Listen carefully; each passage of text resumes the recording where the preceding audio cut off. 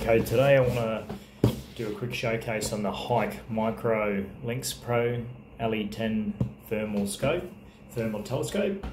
Uh, I got this from Night Vision Australia. I got bought it online. It retails at $799 and you can also get it on a, a payment plan. Uh, just to go through some specs in terms of this device, it's got a built-in rechargeable lithium battery. It weighs at about 260 grams. Uh, it's got an 8 gigabyte built-in memory. Uh, it's capable of taking photos and videos. Uh, it's got a standby power mode. Uh, it's also got 1, 2, 4 and 8 zoom. Uh, it's got four pellets, and that being black hot, red hot, white hot, and fusion. Also comes with a, a very good carry case, uh, as well as a strap, and it is uh, IP67 waterproof. So this is the box that it comes in.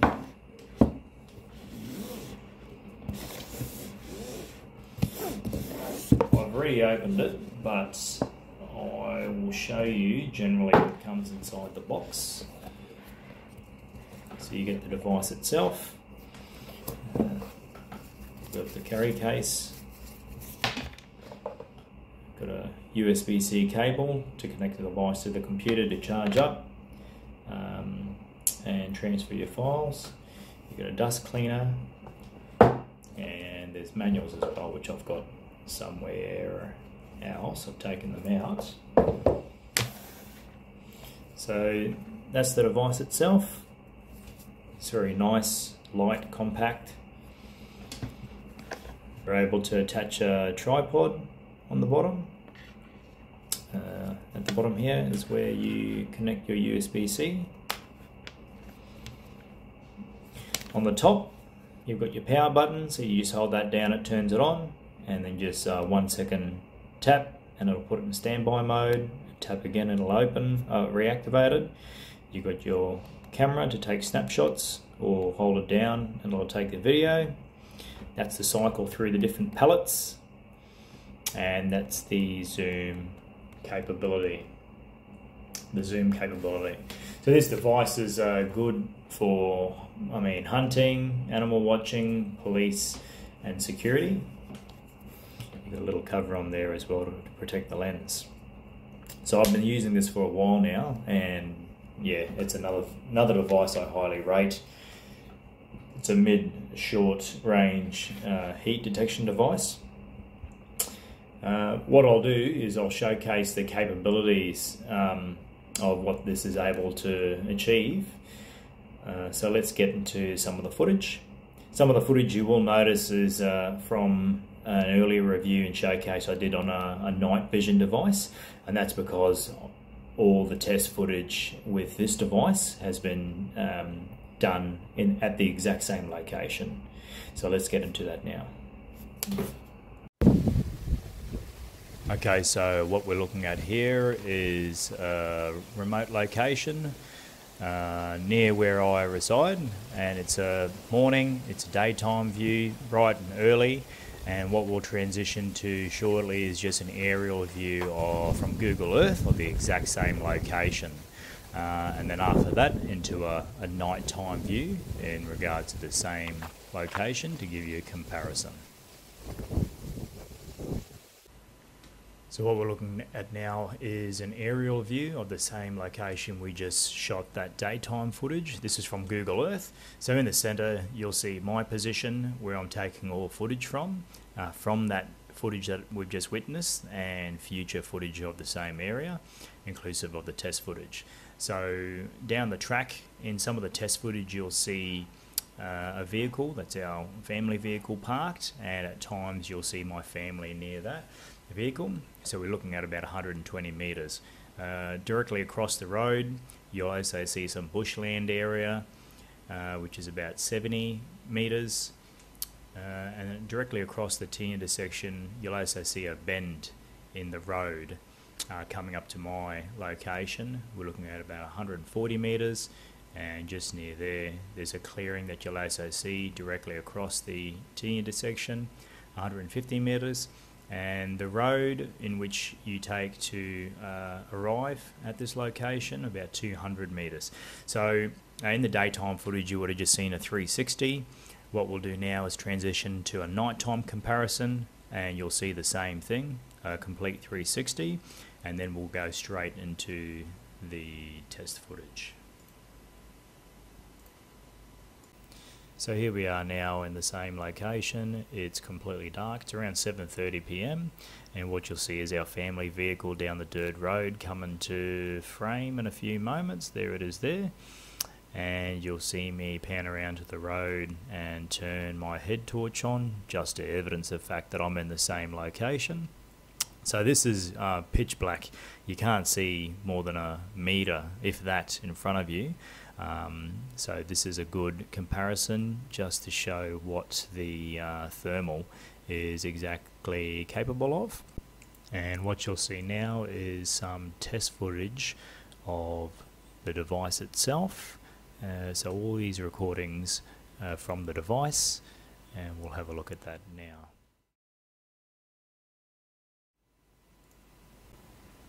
So here we are at the same location it's uh, 7.36 p.m. and all this footage now is being shot through the thermal uh, telescope. So as you can see, we're panning across. Uh, we're currently in the white hot palette. Uh, what will come into view shortly is the family's vehicle down the dirt road. We've just passed it there. I'm pretty sure I'll pan back. So yeah, we're looking at about 120 meter mark. As you can see in that palette, uh, the undercarriage and the wheels of the car are coming up in a bright white, which is um, as a result of being in this uh, palette uh, white hot. Uh, that's down the road, that's across the T intersection, uh, estimated about 150, and that's the bend in the road, 140 metres in the distance. Uh, look, unfortunately, I didn't have any other people to start lining up and hiding in the bushes, so uh, at minimum, this will give you a bit of an appreciation of what the device can do in complete darkness and my family will jump out of the vehicle soon and it'll give a good example of what uh, the heat signatures of people can uh, give off. So as you can see it's in complete black uh, darkness it's a very good device. We've just swapped into the black hot settings now and anything with heat comes up as dark black. As you can see underneath the car and the, the wheels it's showing dark black.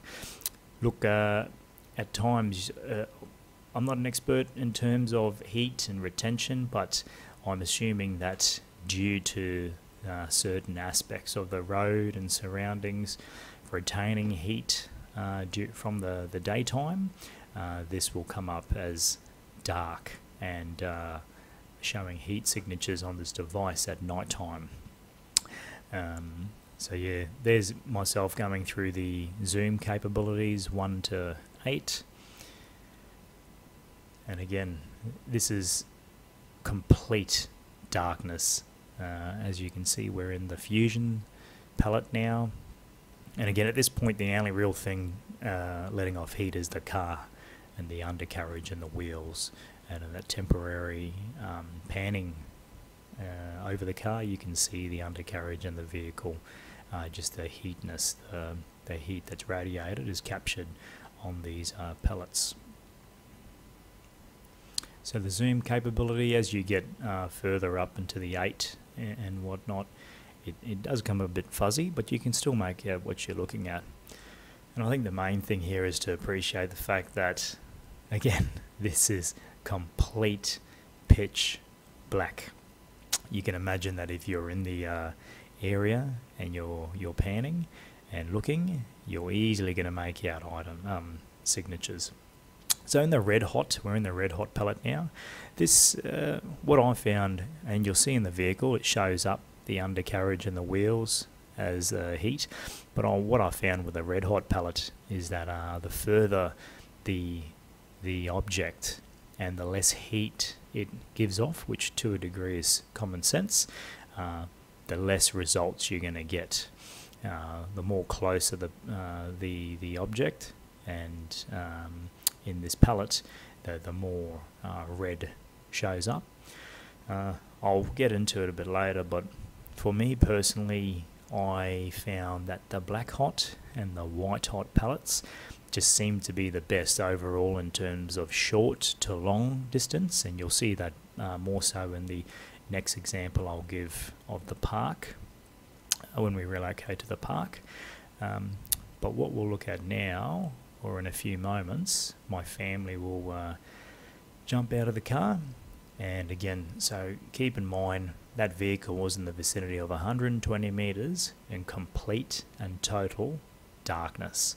And again, I emphasize on this very remote, and you just cannot see anything within a meter in front of you.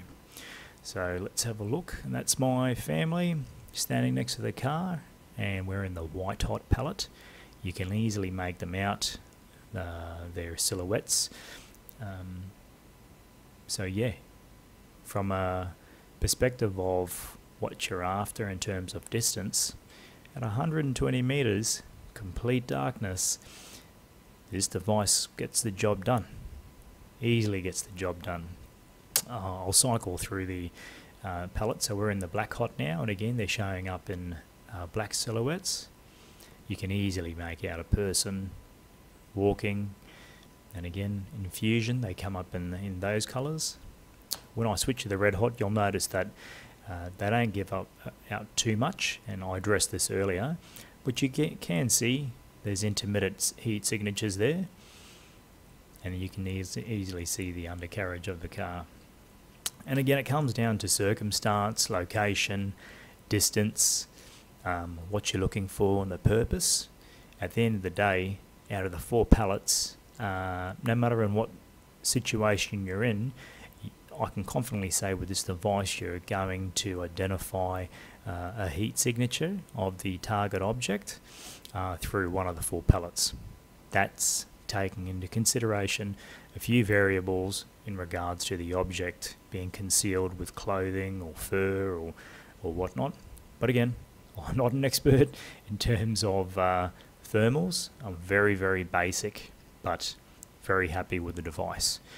So what we'll uh, show in a few moments is another aerial view of a, a park. It's uh, about 8, 8 p.m., 8.30 p.m. I think it is, and I'll explain some distances and the layout, and then we'll look at some test footage as well of uh, another location in very, very dark conditions. And this will give us uh, another good short showcase. And here we are looking uh, at Google Earth, the bird's eye view of a park, which uh, again, my previous nighttime night vision uh, showcase. I shot the footage there as well.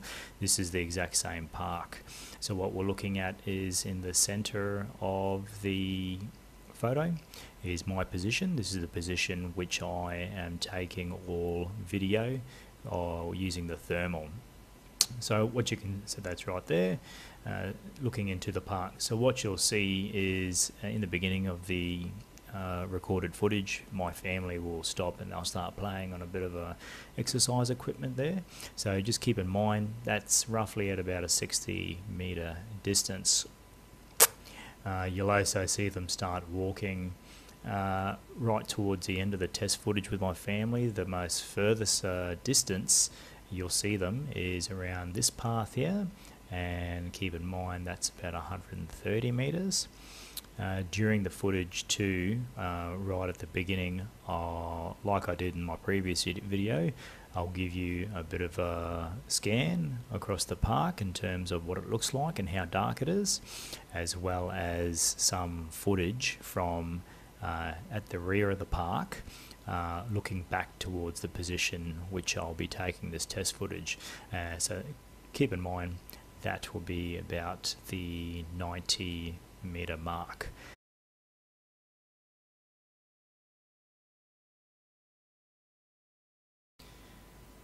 And now let's look at the nighttime footage. Now this is being shot on my mobile phone and that's just a pan from left to right of the park. And again, this doesn't do it complete justice. You can't see anything within there. Uh, within that park, when you start walking in the tracks and the other side of the oval, it is pitch black. And as you'll see in a few moments, the next bit of footage will be from me in the rear of the park, looking back towards where I'll be taking this test footage, as indicated on the aerial view of Google Earth. Uh, this is about 90 meters. So this is 90 meters towards the rear of the park, and yeah, you can't see the back of your hand. Very, very, very dark. Definitely couldn't see people walking around without some aid in terms of night vision, thermal, or light. So the footage now you'll see is shot from the thermal device itself. Uh, it's about, as you can see, 8.35 p.m. and I'll start cycling through the pellets. As I pan over, you'll see my family uh, adjacent to the oval and they'll start playing on some exercise equipment. And again, as indicated, uh, on Google Earth, we're looking around the 60 meter mark. So right there, you can't see people uh, within with your naked eye. I definitely weren't able to make out my family playing around and the dog or any of them. It was extremely dark, but with the device, you can see as I cycle through the pellets, it clearly makes out uh, their heat signatures and again, my personal favourite is the Black Hot, uh, secondary White Hot. But again, it comes down to personal experience, uh, where you're using it, distances. Um, but yeah, just from personal experience, I find that the Black Hot work best for me. At that distance as well, when I do cycle to the Red Hot, as you can see, it is picking up the, the heat signatures. But previously, as displayed uh, further out the heat signature. Uh, also considering if it's not putting out a lot of heat, uh, you're not going to get too much of a red spill in terms of what you can see in the uh, red hot. So this next bit of footage will be my family continuing to walk along the uh, the path and this will be at a distance as shown on the Google Earth. Oh, we're getting to about the 90 meter mark when you see them walking. And again, the capability of this device is truly, in my opinion, is uh, truly amazing. Uh, for the $800 uh, price range, it's well within reach of the uh, general user I mean, when you start looking at the other models and what else is available out there, we're jumping up in a significant amount in terms of how much you're spending. So that's the family walking along, having a grand old time, as you can see. But um, as they round that path, uh, eh, we're going to start getting a bit further in, in distances.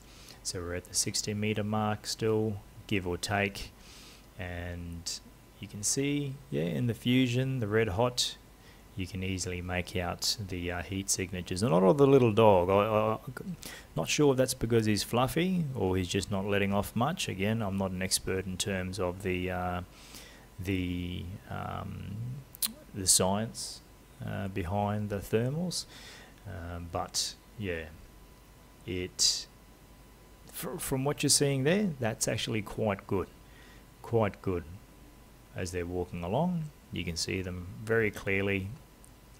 So that is the, so I'll clarify that footage that was just on, they were actually walking a bit closer to me, so that was within the 16 meter range, but right there is where you can see them in the furthest part of the park. On the map, I indicated that that's getting towards the 130 meter mark now. And although the road is in the distance, that section there is is extremely dark. Again, without the night, sorry, correction, the thermal activated, I wasn't able to make them out. And as you can see there in the black hot, uh, especially, you can easily see the silhouettes within the dark. And that's at a two times magnification. Red hot they're not coming up uh, in terms of uh, that palette, but as you can see, as I cycle through the black hot, the fusion, the white hot, uh, we're talking about a distance of about 130, give or take, in very, very dark conditions within the park. So, yeah, that's a big tick, a big tick in my my book. This next bit of footage, what you'll see, is of my wife uh, video actually recording me on the device. I'll start walking uh, adjacent to the park along a path up towards uh, the area in which I took the the rear nighttime footage to show you how dark it is. Uh, I walk towards the back of the park and start hiding behind some trees. Um, and this is a distance of about 90 meters. You can see me there crouching down behind a set of trees, and the device is easily able to make me out and differentiate me uh, in terms of what you're exactly looking at, taking into consideration the area and distances.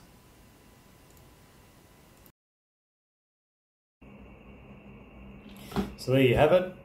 Uh, as you can see from the footage, this little beauty is able in complete darkness uh, achieve what it's promoted to do and that's to detect heat signatures in complete uh, darkness. So that footage has uh, shown that this is able to achieve uh, that it's at a reasonable price point, in my opinion, compared to a lot of the other thermals that are available out there. Uh, with this device, I personally prefer the black hot and white hot. I found that those two pellets were the most suitable for uh, detecting the heat signatures, especially at farther uh, further distances. So yeah, another device I highly recommend. I uh, hope you've enjoyed this video and I hope it uh, assists you in deciding whether or not you are going to buy the Hikmicro Lynx LE10 Pro thermal telescope.